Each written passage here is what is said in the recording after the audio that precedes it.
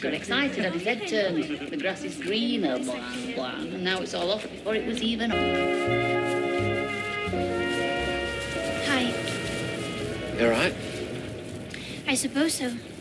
You looked alright earlier. Sorry? That your new fella, is it? Who? That Lucas guy, I saw you leaving factory with him. And because of that, you think we are together?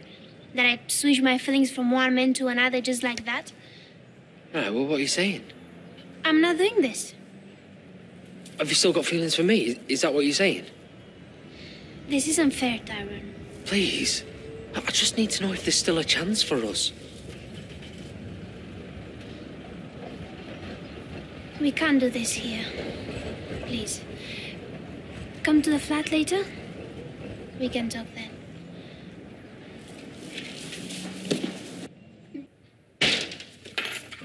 I need to tell you I'm moving back to number nine.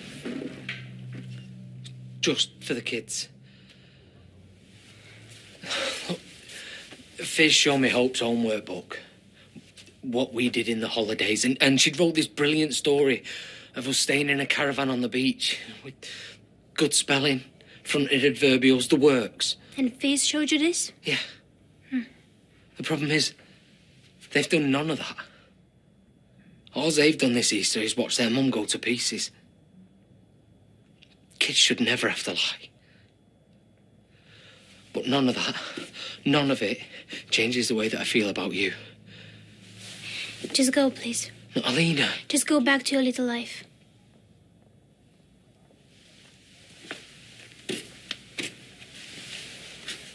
no, you know what? I'm not going until I've made you understand.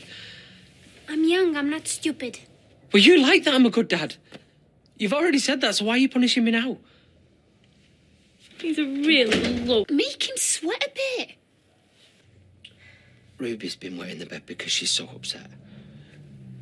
I wasn't going to tell you, but I can't ignore something like that. No, you can't. I've done that to my little girl. Me. And people say that I'm selfish and that, yeah, I can't help myself. I, I see you laughing with Lucas or laughing with anyone, it kills me. I can repeat word for word every conversation that we've ever had. I, I sit and look at pictures of you for hours. Every song that I hear is like it was wrote just for you. It's like I'm going insane. I don't want to be a dirty little secret. And me either. You mean too much to me. You say that now. When it's over, you still have your life and your job and your kids. What will I have? Me. Okay, look, I know. I know I'm punching well above my weight. But I'm sick of doing what's right for everyone else. I want to do what's right for us. I know you feel the same. I do.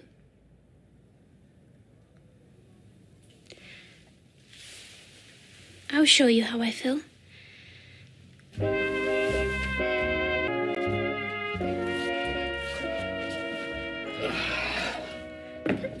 Too much excitement for you, old man? Old man? it's like I woke up and the world's suddenly in colour. I don't even know why I said that. I saw that once in a film. I don't want to leave. I wish you didn't have to. Well, it won't be for long. I'm just going to get the girls settled, then I'll start flat on in. I'll prove that you can trust me. You need to. You're joking me, aren't you? It's the biggest wake up call ever. Time to take life by the scruff of the neck. Just five more minutes.